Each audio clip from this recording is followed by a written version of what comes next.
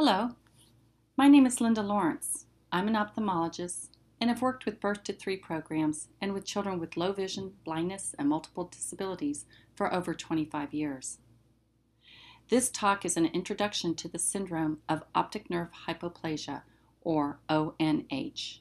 I want to emphasize the diagnosis of ONH includes a spectrum of visual impairment and developmental delays, and also to present a practical approach for assessment and interventions for the transdisciplinary team. The objectives of this presentation are to bring a general understanding of the syndrome of optic nerve hypoplasia, to review the diagnosis, symptoms, etiology, and risk factors for development associated with the diagnosis. Also, realizing a child is not a diagnosis, but a diagnosis gives us strategies for intervention and helps to define what our roles are as vision professionals or other members of the intervention team. Let's review the latest evidence for the syndrome of optic nerve hypoplasia and determine how we apply this for our babies, students, and families to enhance learning, independence, and quality of life. ONH is emerging as a leading single cause of childhood blindness and visual impairment in the USA and Europe. Cranial nerve 2, the optic nerve, is actually directly synapsed or connected with the brain, unlike any of the other cranial nerves. The diagnosis is clinical. There are small optic nerves that are seen on examination of the eyes. An ophthalmologist uses direct visualization of the optic nerves and performs the examination. Neuroimaging, such as MRI or CT scanning, is not adequate to make the diagnosis of ONH. One or both optic nerves may be effective. ONH may be isolated or part of other functional and anatomical abnormalities of the central nervous system.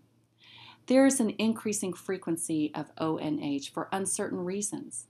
There is a diverse impact on growth and development of the child. The interventions for each child depend on the degree of visual impairment and associated conditions.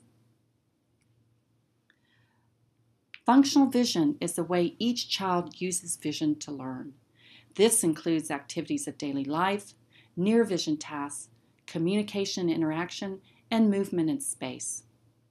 Despite similar diagnoses, each child sees differently, as in the case of these two children with optic nerve hypoplasia. The child on the left has normal vision functioning after strabismus surgery, and the other has visual field loss requiring cane travel for independence. Visual acuity may be from no light perception to near normal. One or both eyes may be affected. 80% are bilateral, two thirds asymmetrical, and 80% of children are legally blind. Visual function cannot be predicted from the clinical or radiological appearance of the optic nerves, nor from the initial examination. Children may have superimposed amblyopia, which can be caused by asymmetry in any part of the eye and can lead to strabismus.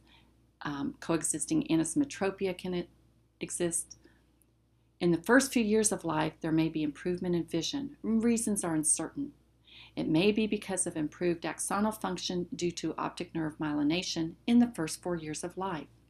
Also, we see improved use of residual vision with intervention. In regards to functional vision, nystagmus may be noted when both eyes are effective, typically developing at 1 to 3 months of age. Strabismus may be noted in the first year of life, typically esotropia. Those with unilateral optic nerve hypoplasia may present with strabismus rather than nystagmus. There may be variable visual field defects dependent on multiple factors, including the extent of optic nerve hypoplasia, whether there is optic chiasmal involvement, optic tract involvement, or other brain involvement such as schizencephaly or effects from hydrocephalus. There may be variable color vision deficiencies as in any other optic nerve disorder. What is optic nerve hypoplasia? The definition of hypoplasia is a condition of arrested development in which an organ or part remains below the normal size or in an immature state. The optic nerve is a collection of thousands of nerve fibers transmitting signals from the eye to the brain where you see. Optic nerve hypoplasia is a congenital anomaly. The optic nerve is underdeveloped. and there's excessive loss of neurons before the nerve is fully developed. It is non progressive. The nerve may be just small and not dysplastic. The anatomy of the visual system is very complicated and beyond the scope of this discussion. However, we must remember that the optic nerve is a collection of thousands of nerve fibers that transmit visual signals from each eye to the brain. The optic disc refers to the portion of the optic nerve visible with ophthalmoscope by looking inside the dilated eye. Diagnosis is by direct ophthalmoscopy. This is a clinical diagnosis. There are small optic discs. Newer scanning methods may change the way we measure and diagnose optic nerve hypoplasia. If you compare the two optic discs in the photographs, you can see the difference in the size. With the slide left being a normal size optic nerve and slide right showing a small optic nerve. Sometimes it's more difficult to diagnose optic nerve hypoplasia in a child when both eyes are small and symmetrical. Optic nerve hypoplasia should not be confused with optic nerve atrophy. Other names for this are optic nerve pallor or pale optic nerve. However, they may coexist. Who diagnoses optic nerve hypoplasia? The neonatologist sees the baby because of an unstable nursery course. In the neonatal period, jaundice, hypoglycemia, apnea, seizures, and failure to thrive or other developmental delays may signal pituitary gland dysfunction or hypothalamic dysfunction, and the neonatologist might suspect the syndrome of optic nerve hypoplasia and ask the ophthalmologist to see the baby in the nursery. So the Ophthalmologists may initially examine the baby on referral from the neonatologist. Both ophthalmologists and neonatologists may see the baby because the syndrome is part of other systemic conditions or because the baby is considered high risk. The ophthalmologist may also examine the baby later, once out of the nursery, as nystagmus, esotropia, or other signs of poor vision appear in apparently healthy infant. What is septo-optic dysplasia, or SOD? Septo-optic dysplasia means optic nerve hypoplasia with the absence of the septum pellucidum. The septum pellucidum is a midline structure in the brain.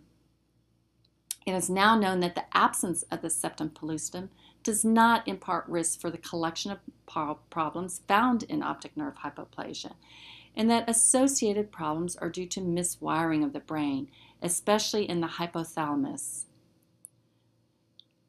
These abnormalities may not be detected with neuroimaging. A newer suggested definition is syndrome of optic nerve hypoplasia.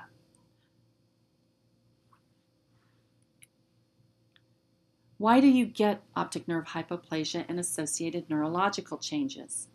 We really don't know what causes this condition or why the diagnosis is on the rise. There is something that happens at three to six weeks of gestation. It is uncertain if it's environmental, teratogenic, or genetic. The epidemiology and course of optic nerve hypoplasia is being investigated by Dr. Mark Borchert at the Children's Hospital in Los Angeles. Prenatal risk factors are still not proven. We don't know what causes optic nerve hypoplasia. There is an association with young mothers and firstborn children. There are spatial clusters, but all the other presumed etiologies have not been shown to be statistically significant. In the babies count, 2012 national data, a 11% of the sample size had optic nerve hypoplasia. This makes it the third most leading cause of visual impairment in the newborn to three population in the United States after cortical visual impairment and retinopathy of prematurity. What tests should be ordered? Why do we order these tests? And what do we do with the information? MRI findings are not diagnostic. High resolution MRI may change this. If there are focal signs, neuroimaging should be ordered early. This is to rule out other surgically treatable diseases. If there are no other focal signs, then it's still recommended to have neuroimaging by the age of two. There's agenesis of the septum pellucidum in 38%, but this is not associated with hypopituitarism or developmental day in prospective studies. The absence of septum pellucidum is not predictive. There may be pituitary gland malformation. This is predictive of hormonal dysfunction. There is a high instance of hormonal dysfunction in the syndrome of optic nerve hypoplasia, but only 13% have abnormal pituitary glands on MRI scan. There may be hypoplasia or agenesis of the corpus callosum, and this may be associated with cognitive, motor, adaptive behavior deficits, but not pituitary gland dysfunction. The hypothalamus is poorly imaged on MRI. Again, this may change in the future. Newer imaging modalities show abnormalities in the optic tracts of all children with optic nerve hypoplasia, which were thought to have had otherwise normal MRI scans. We are unsure of the significance. Electrophysiology is sometimes recommended. However, we have found that ERG may be normal and is not helpful, and visual evoked response or VER may be helpful but not predictive. Isolated optic nerve hypoplasia is uncommon even when neuroimaging is normal. Again, there are associated developmental midline brain abnormalities, and the pituitary hormones may be affected due to defects in the hypothalamus, the pituitary infundibulum, or the pituitary gland. Unilateral optic nerve hypoplasia carries a 69% risk of hypothalamic and pituitary dysfunction and a 39% risk of associated developmental delay. In bilateral optic nerve hypoplasia, 81% of the children have hypothalamic or pituitary dysfunction, and 78% have developmental delay.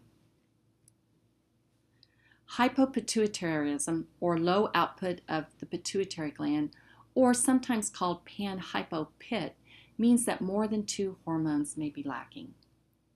So, what are the hormones and why do teachers need to know? 75 to 80% of patients with optic nerve hypoplasia have hypopituitarism in some form. In lack of growth hormones, 70% may have stunted growth. They may have short stature. They may have hypoglycemic events, including seizures. They may have prolonged jaundice as babies. They may have micropenis and delayed dentition. The hypothyroidism occurring in optic nerve hypoplasia at an incidence of 43% is a secondary dysfunction. The child may have poor growth, again, prolonged jaundice, delayed puberty, and the thyroid hormones are very important for cerebral development and attaining developmental milestones. Hypothyroid may be missed at neonatal screenings that use only TSH or thyroid um, stimulating hormone as a measurement. Hypothyroid can cause additional brain damage if not detected early. This is one of the most important tests for the infant suspected of having optic nerve hypoplasia. Adrenal insufficiency can occur in 27%, and this can lead to death from cardiovascular collapse. And there is sudden death in 2% of children with ONH. The child may also have cholestasis, jaundice, and hypoglycemia. Diabetes insipidus, a lack of vasopressin, can occur in 5%, and this causes abnormal fluid balance. The good news is if we detect the abnormal pituitary function, there are hormones available to be administered. This is done in conjunction with a pediatrician and pediatric endocrinologist. How long should we monitor the pituitary functions? These endocrine features may develop early or late. Data is very important to help us sort this out. There should be monitoring of growth at regular intervals. There should be monitoring through puberty and maybe even into adulthood. There should be regular checks of thyroid function. No one really knows for sure at this point. Hypothalamic dysfunction is a loss of regulation of homeostatic mechanisms controlling behavior and pituitary gland function. This includes diurnal rhythms, feeding, temperature regulation, all due to miswiring in the hypothalamus. The hypothalamus controls the autonomic system. Control of thirst and hunger may be abnormal, and feeding behaviors, including overeating with obesity, poor eating with wasting, and aversion to certain food textures, may exist. Water seeking behavior may be mistaken for diabetes insipidus.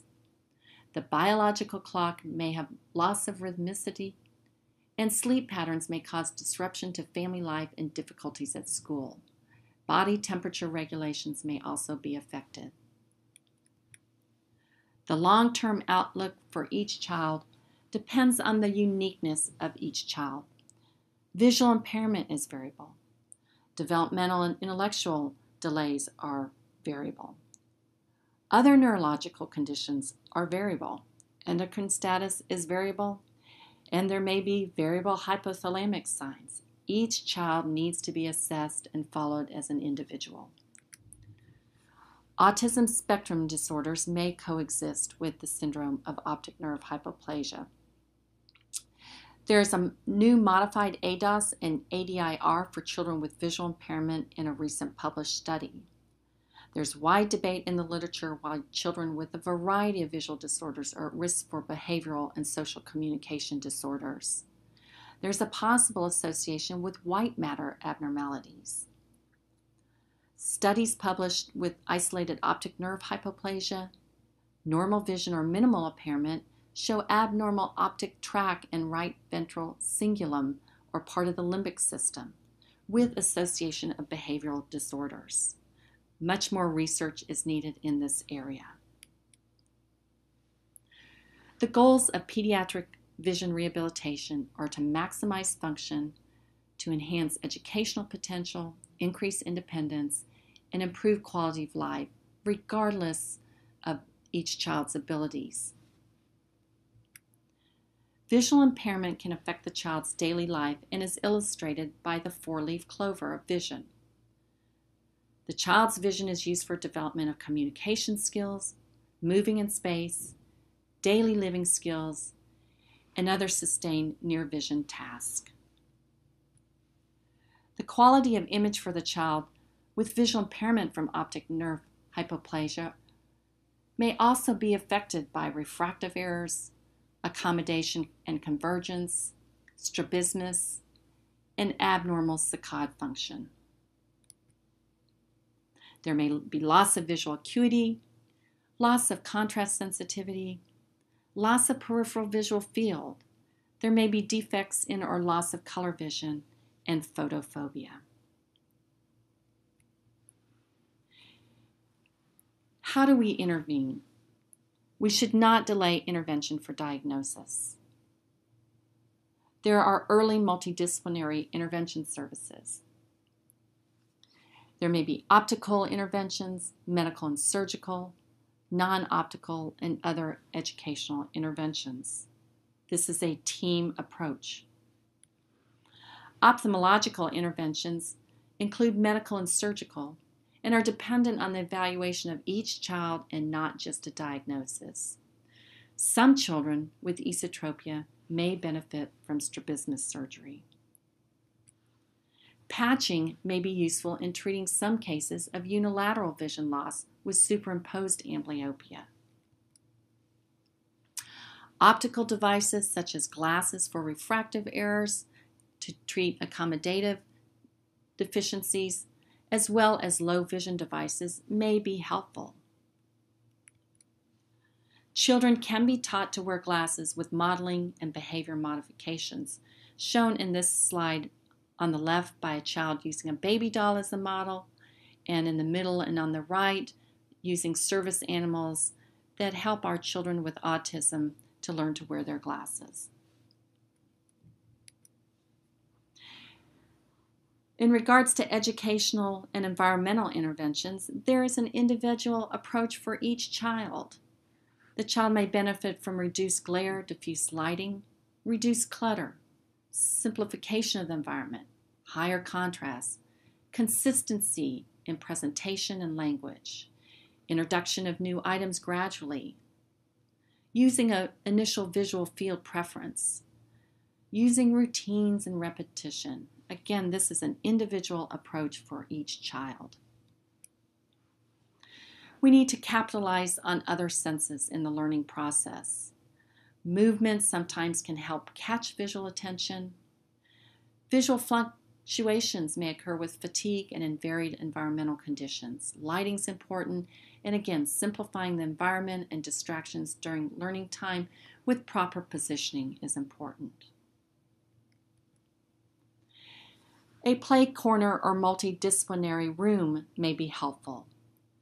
Developmental delays and risk factors for developmental delays include hypoplasia of the corpus callosum and hypothyroid.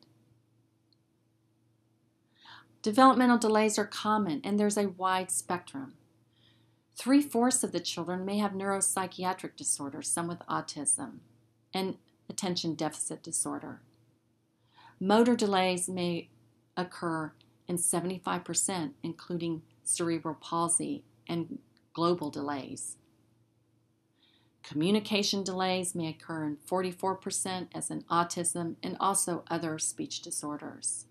Remember again, the absence of septum pellucidum is not a risk factor for developmental delays or visual impairment. Like to just talk about a couple of children who presented with optic nerve hypoplasia.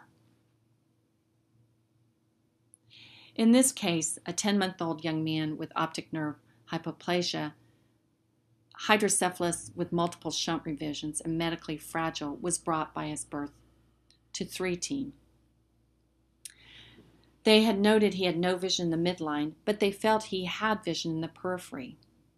He was found to have strabismus with cross fixation, with one eye looking to the right field and the other to the left, and he was unable to straighten his eyes in the midline. He had been told by a pediatric ophthalmologist he was blind and may need to be institutionalized because of disabilities. After this, of course, the parents hear nothing can be done, surgery is cosmetic only, and nothing will really matter. In this case, the child sought a second opinion. He was ended up being stable enough to go ahead with strabismus surgery for the esotropia. The eyes were brought to midline, and the day following surgery, he was actually able to fixate on his mother's face, see objects in the midline, and make eye contact. This case emphasizes the importance of proper assessment and treatment of coexisting ocular disease. In this second case, this was a young woman with unilateral visual loss cognitively typical developing, no developmental delays. She presented with strabismus in one eye only. Amblyopia therapy was not successful. Strabismus surgery was performed for cosmetic reasons only. She developed good monocular visual functioning. She learned to drive at the same time as her peers. She's currently in professional school she had panhypopituitarism associated with unilateral optic nerve hypoplasia. This case emphasizes the medical considerations that go along with this eye condition. The children must be monitored for hypothalamic dysfunction. The syndrome of optic nerve hypoplasia is one of miswiring of the brain manifest in the optic nerves and hypothalamus. MRI scanning can rule out other treatable conditions and is used to anticipate possible developmental delay attributed to other brain malformations. However, remembering that MRI scanning can often miss panhypopituitarism because the pituitary gland can appear normal. Endocrinology workup in these children is very important. In this case, this child needed supplemental cortisol injection during time of illness or physical stress. How long do we follow these kids for endocrine problems? No one really knows. And in a third case, I recently saw a baby where absence of corpus callosum was noted on prenatal ultrasound. The child had arrested hydrocephalus and was monitored closely. Endocrine abnormalities were not suspected. At age two months, the child was examined and found to have optic nerve hypoplasia and endocrine workup initiated.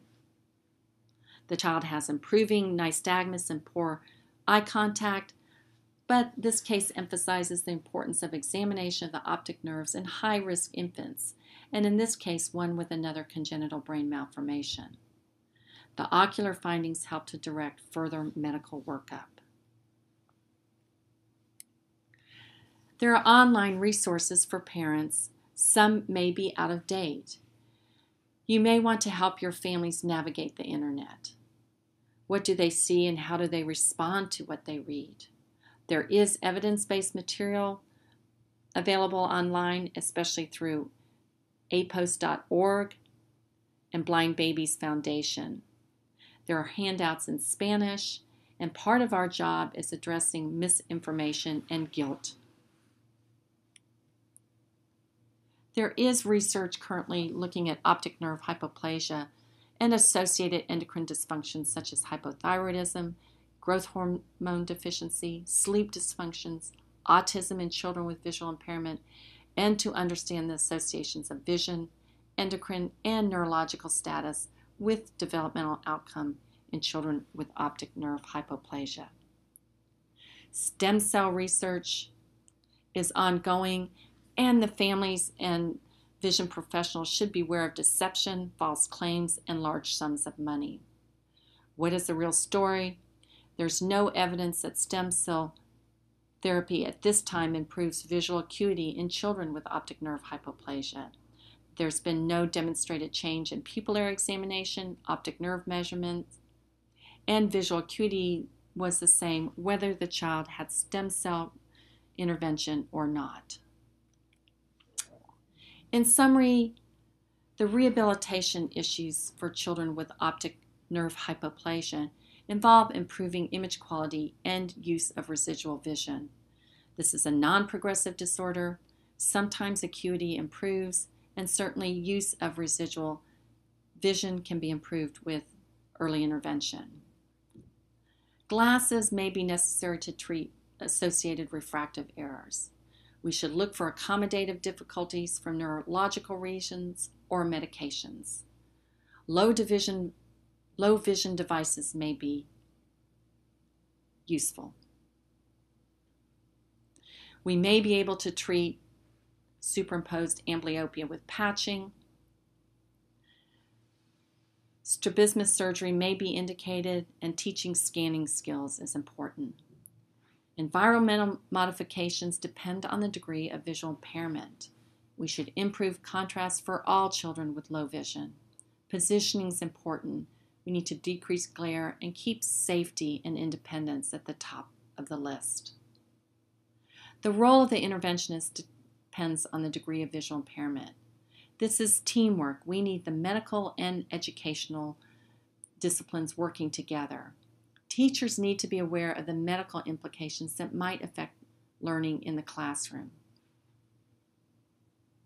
Some things that might be unique to optic nerve hypoplasia rehabilitation include early motor skill development and poor acclimation to food textures.